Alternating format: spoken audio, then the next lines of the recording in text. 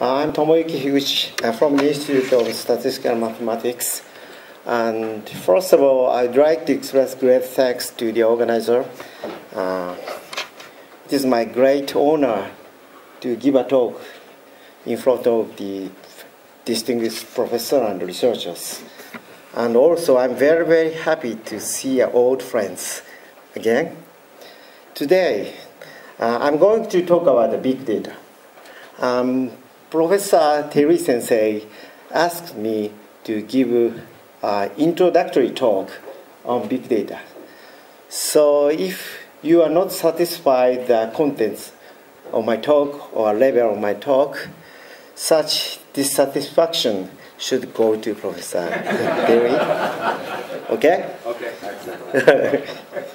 so here's a drawing of today's talk. First, we would like to make sure, again, the background of uh, big data. And then also we want to make sure are three key points in big data analytics. And then we would like to uh, into, uh, we'd like to show several uh, examples of big data applications in the Japanese industry. So, and then uh, we would like to make a point on essential concept in statistical methodology for big data. And then uh, finally, let me summarize. Okay. So this, this figure is taken from Journal Science 2011. Have you ever seen this figure. And the hand, data handling can be categorized uh, three parts, roughly speaking. And this show represent uh, Moore's law. Uh, during about uh, 15 years, the power of the uh, uh, supercomputer becomes almost uh, thousand times. And this graph shows the uh, Kryder's law for describing the power of data storage. And uh, do you, do you understand how why the, this curve is parallel to this? Do you understand the reason why? Because uh, two technologies were supplied from the computer maker, vendor. On the other hand, you can see the, these curves. And uh, this curve shows the, the power of the next generation sequence, sequencer to read the DNA sequences. And it is it can be regarded as the good index uh, to describe how much of how much the, we have the big data. Okay, you can see that for uh, 15 years, the power of next generation sequencer becomes this one. So then it is obvious that we have to challenge the big data problems. So, and I want to mention uh, one topics in uh, big data. Oh, sorry, sorry. and maybe you know the big data, the characteristics of big data uh, is uh, usually characterized with three words, volumes, variety, and velocity. Okay? And velocity means the how often we have uh, data. Okay, and recently the two words is added, the value and velocity, and uh, the, these uh, today's audience are the statistician, so you can uh, uh, you can understand the importance of two words. And I want to uh, mention a very important point in big data.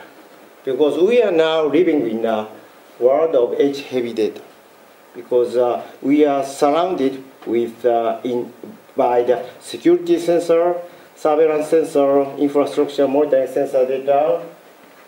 So then every minute we have to analyze the big data uh, which comes from these sensors. So uh, this kind of phenomenon is called the world of edge heavy data. So uh, recently the people in machine learning uh, spend too much time on the research on the online learning to cope with the problem of edge heavy, of edge heavy data. And also, uh, yeah, okay. And um, in 2011, McKinsey Global Institute published a report of which title is the big, big data, uh, the next frontier for innovation, competition, and uh, productivity. And maybe you know the MGI report. And MGI report says uh, there, there are three major elements or technologies for big data analysis. This is not summary from me. Uh, MGI report says that technique for analyze big data, visualization, and big data technologies. These three te uh, technologies are important for analytics of big data. And uh, technique for analyze big data almost correspond to the uh, technique or uh, method for such in the domain of statistical science or mathematics engineering. I'm working in this field. On the other hand, oh, he's a Professor Kitsuregawa. In Japan, there are two national institutes related to the uh, big data. And uh, Professor Kitsuregawa is a very famous person in Japan, and he's the Director General of the National Institute of Informatics. His specialty is in a uh, large-scale uh, database technique. And big data technologies uh, means the, uh, or represent the like cloud computing, Hadoop or MapReduce. These techniques are large-scale parallel uh, computing on a database. And we are fo focusing on a technique for analyze big data. And we are statisticians, so anybody show a great respect to the uh, statistics in analysis of big data. And machine learning and as well as optimization are very, very important for technique of, for analyze big data. Also, uh, narrowly defined data mining technique, which is usually uh, applied to natural language. A narrowly defined data mining technique would be very, very important in a technique for a big data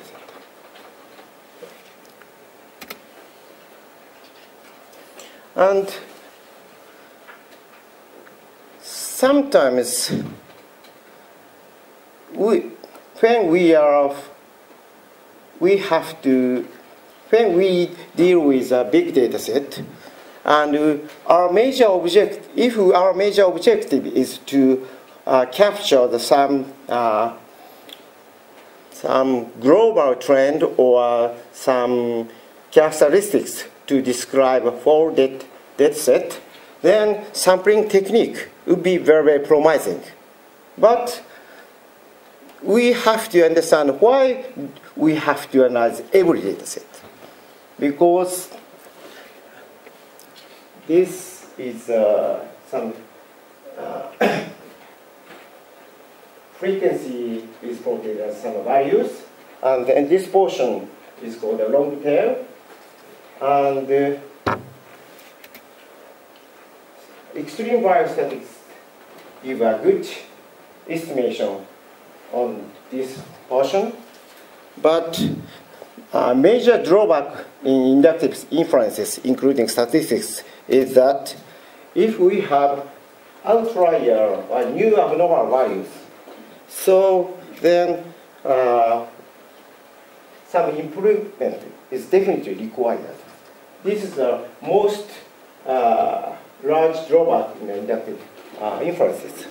So then, the, when we analyze every data set, then it is possible to find that some uh, new outlier or abnormal values. So such, such kind of findings provide us uh, some uh, serendipity or uh, these information can be obtained by analyzing every data set. And Prof, Professor Kitsuregawa said the heavy tail is the best part of benefits using big data set. Okay? Because maybe you are statistician, so the, we have to understand why do we have to analyze every data set.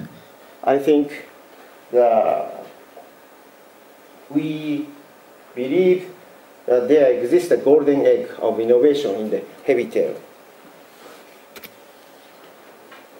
And uh, we, we see the big world uh, just in front of the big data set because um, this phenomena is called low value density because uh, big data has uh, much values but the total volume is also bigger and bigger. As a result, value density is very, very small. So uh, we have to challenge uh, these problems. Of course, value density uh, is definitely dependent on the purpose okay, or objective. So we move on the, this part. We want to make sure the three key points in analytics. Maybe you, uh, I, I'm sure that you agree this sentences. There is no chance to succeed in using big data without sufficient skills of analyzing a small data set. And first key point is the problem of curse of dimensionality. Okay, and you are familiar with this uh, problem. So uh,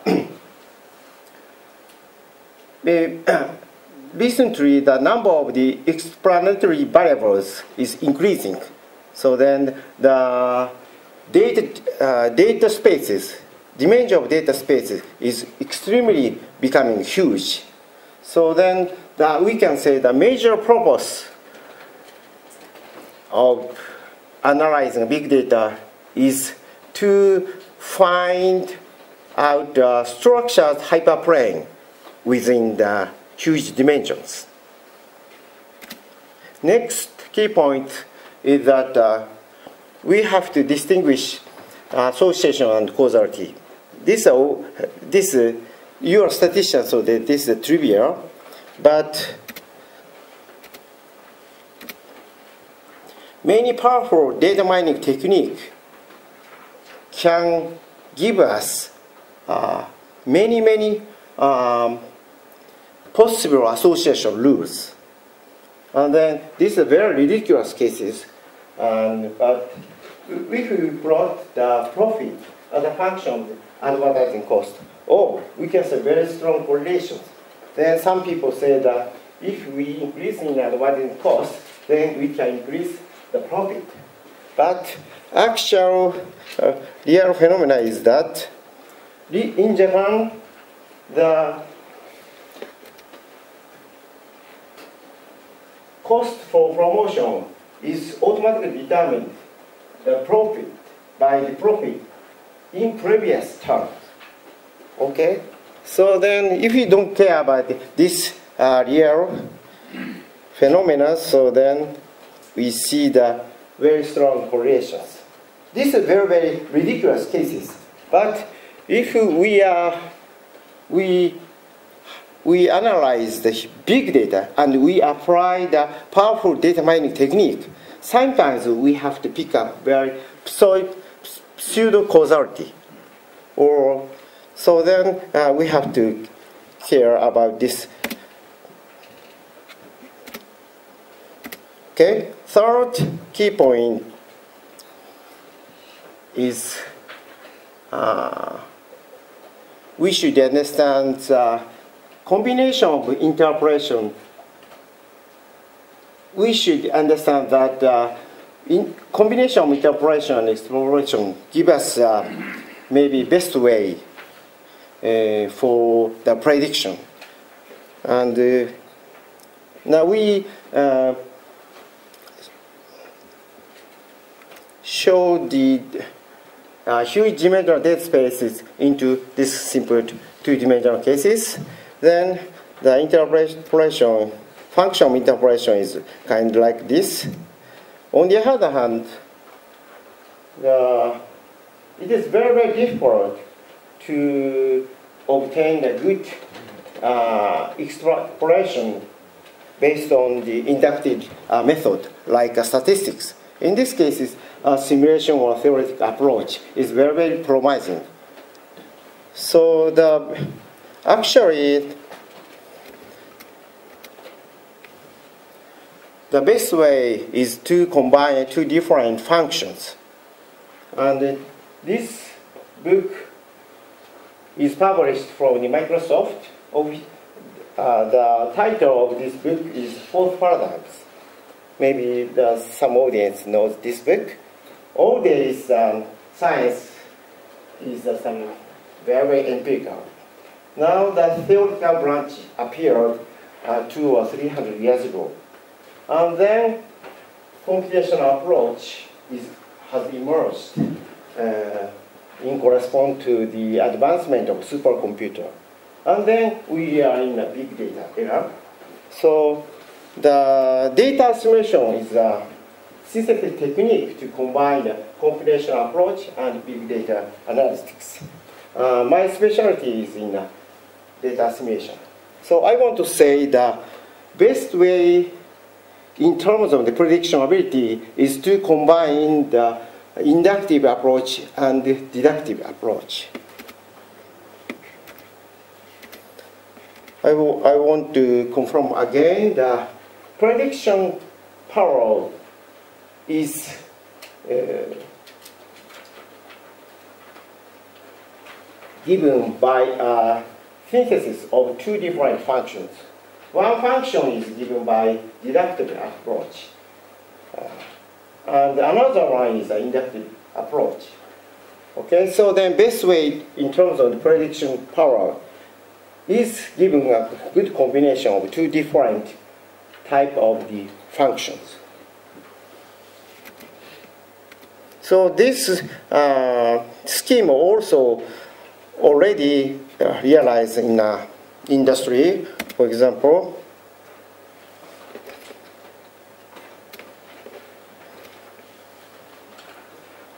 we support the uh, weather forecasting. Then the usual people uh, understand uh, most of our prediction comes from the result of supercomputer. But recently, the in company uh, made the good application on a website, then they collect the local information regarding the weather and the user or uh, customer send a photo of weather to the cloud. So the, this company combined the information from the numerical simulation and there are many, many reports from customers. So then the prediction power of the, uh, for the weather forecasting uh, obviously exceeds the power of uh, the, the power, the prediction power given by some uh, national weather forecasting organization because, because uh, they introduce uh, useful information from the customer. So I want to say the uh, better way in terms of prediction is combined two different functions. So we want to see, we would like to into, uh, show several examples of big data application in Japanese industry.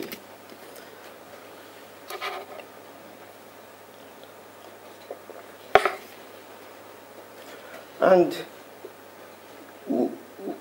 the major purpose in terms of the personalization is to find out the good conditional distributions. But you can see that we have to put the many, many explanatory variables. So uh, I want to say the uh, major purpose is to find out uh, this kind of the conditional distributions. But yeah, but I now we uh, before I show several examples, uh, we also make sure that what is the seasonal adjustment because it, this uh, uh, audience is familiar with the seasonal adjustment and we original data is like this but obviously uh, this time series depends on the seasonal or contains a usual plot or it is uh, depend on some it has the daily weekly effect so putting the uh, informative prior produce a good decomposition like this. So this function is called, this is called the season adjustment, which you are familiar with. And uh, now we return to the big data analytics. And now we are interested in uh, prediction of sales for uh, uh, each shop. this technology is now uh, carried in uh, this uh, family supermarket, small scale supermarket. And the sales for shops obviously depends on the uh, their week or uh, some event in the neighborhood or location or size of shops. So, but these effects depends on each uh, shops. So, but we, like in uh, seasonal adjustment, we have to decompose the original data into many, many uh, terms or many, many effects. And then, but we have, we allow to analyze the big data. Then we collect uh, many information in the cloud so uh, we put the uh, prior information or important information on in analyzing big, big data set so then we can uh, decompose the original data into several factors uh, for each shops. Another example is to uh, apply, uh, another example is in, is to uh, maintain the social large-scale infrastructure. And uh, GE's, uh, GE called such kind of technique uh, industrial internet. And some people know the, that now GE uh, installs the sensor on each 777 uh, airplane on a, to monitor the status of engine. Okay, so some people say the engine on uh, every engine on uh, 777 is monitored every time. So I'm not sure, but uh, uh, you know that some crisis of Malaysia uh, uh, yet, then maybe I'm not sure, but the GE company some observe or uh, get some hint on actually what happens. I'm not sure. But GE company called Industry Internet. Also, Japanese uh, large company NTT also installed many many sensors on uh, some bridge or tunnel to monitor the status of the uh, social infrastructure. Of course, in these cases, the data depends on the weather, wind, or some and effect by passing car is uh, obviously existing. So then we have to decompose original data into many factors.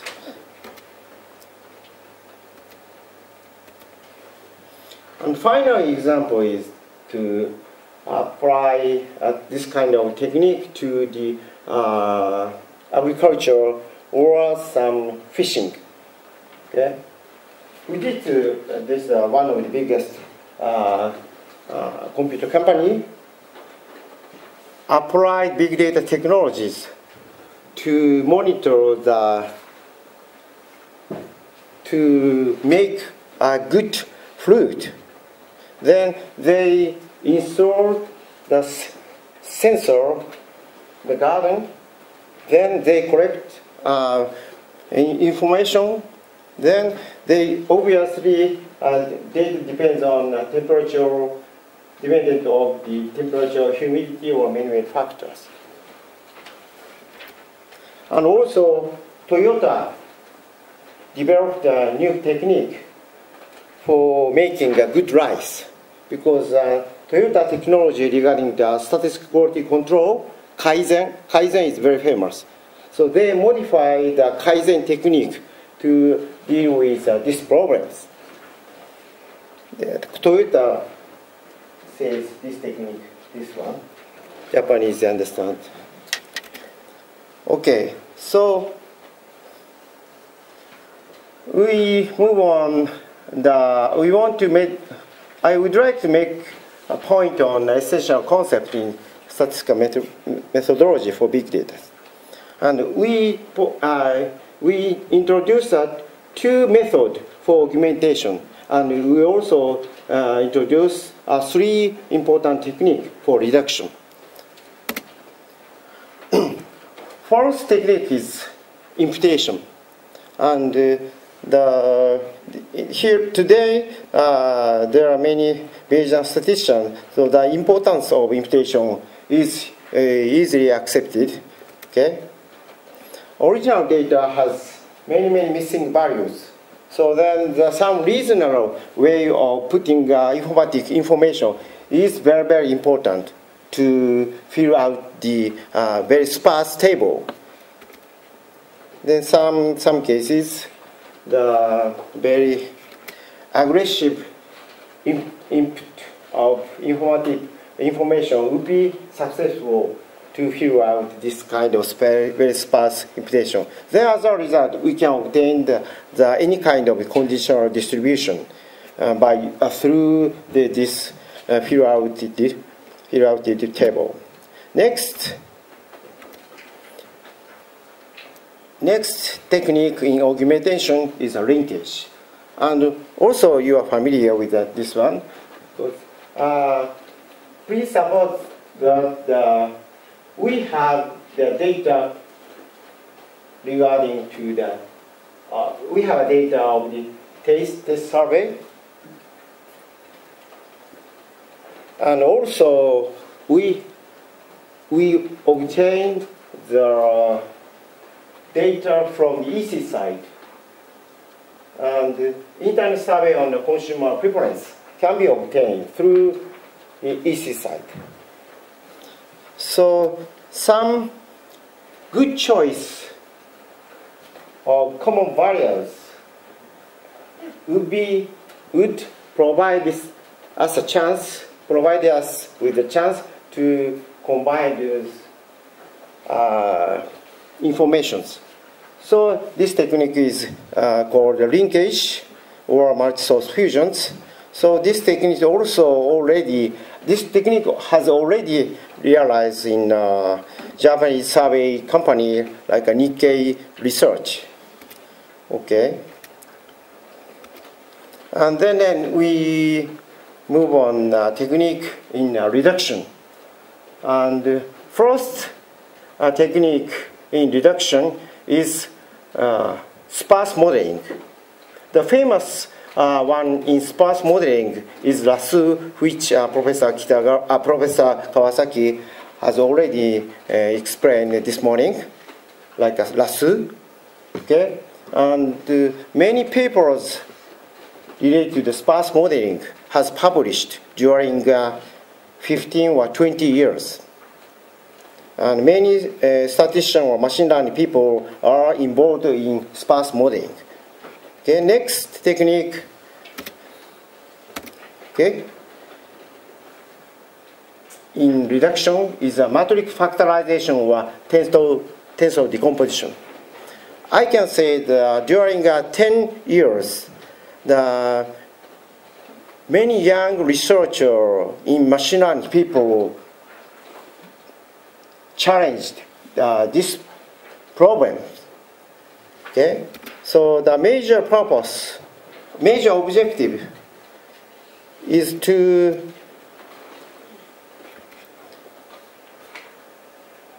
uh, to decompose uh, to decompose uh, this tensor uh, matrix by maximizing uh, similarity between this one and this kind of uh, matrices. Then we, when we apply the matrix factorization or tensor decomposition technique, then as a result, some very informative matrices will automatically appear.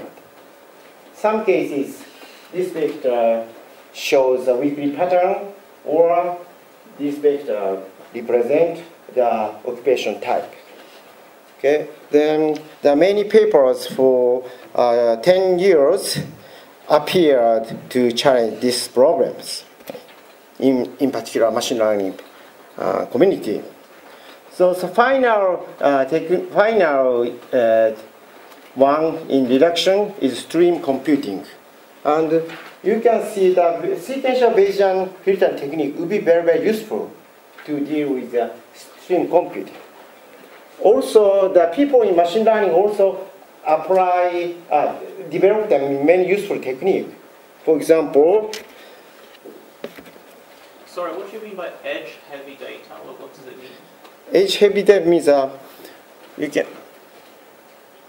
please suppose the industry or our industry, then the many data is uh, obtained the inside industry. Then the, we have to transfer or send much information on the cloud. But it is very expensive. In the future, machine is talking with another machine. Then definitely we can see the very severe congestion in a compu- computer network. So it means we definitely have to analyze the, the big data, for example, at the inside the industry. Or please suppose a surveillance sensor. Then if we send much information, the cloud, then we can see many congestions. So then, uh, so edge heavy means um, many, many data were are generated at the some the inside the factory or the in front of the sensor. So it means edge heavy.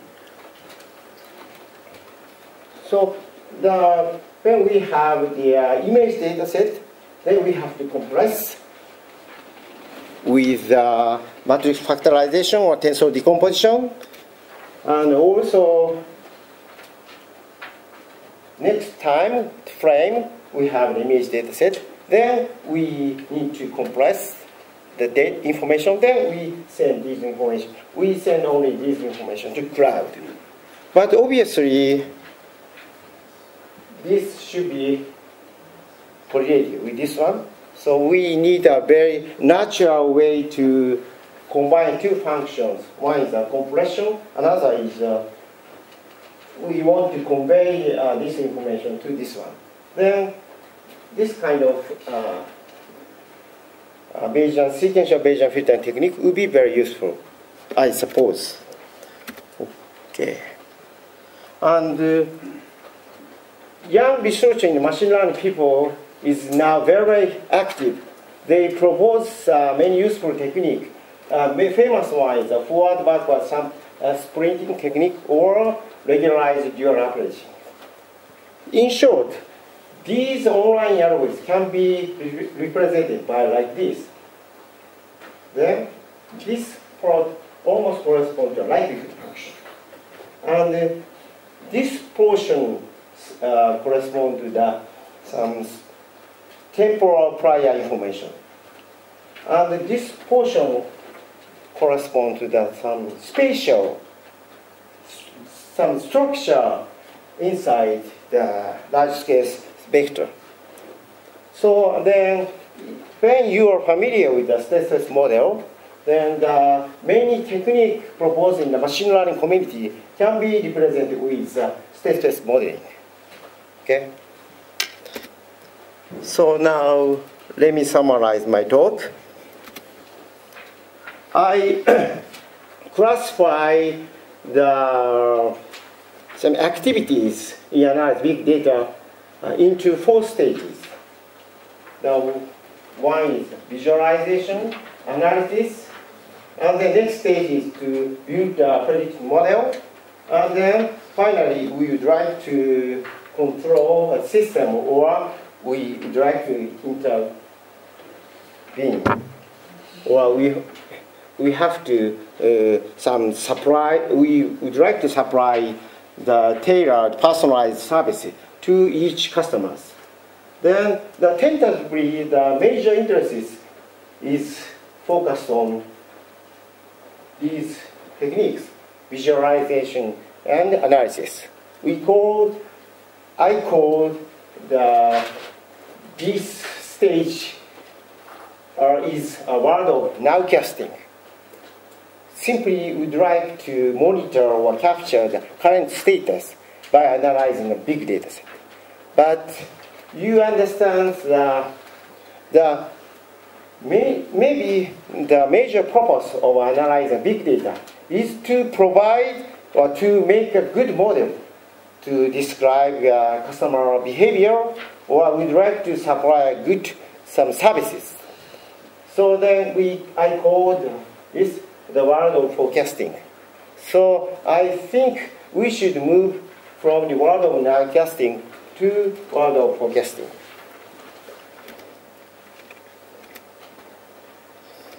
And the, all days, the many uh, innovation is based on the technologies.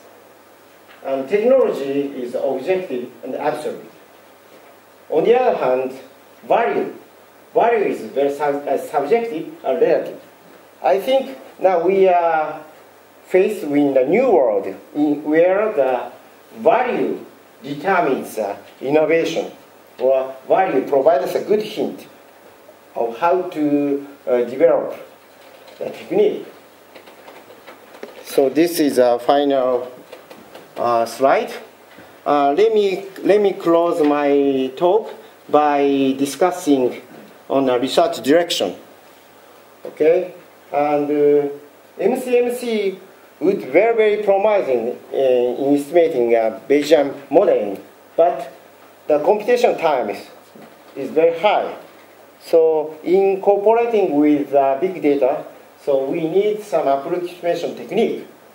Okay, and the next comment is that uh, the machine, machine learning people is uh, interested in dealing with discriminant model. But we are statistician. So the statistician, first statistician is trying to make a generative model for describe model. But sometimes final model, final objective should be given by straightforward by discriminant model.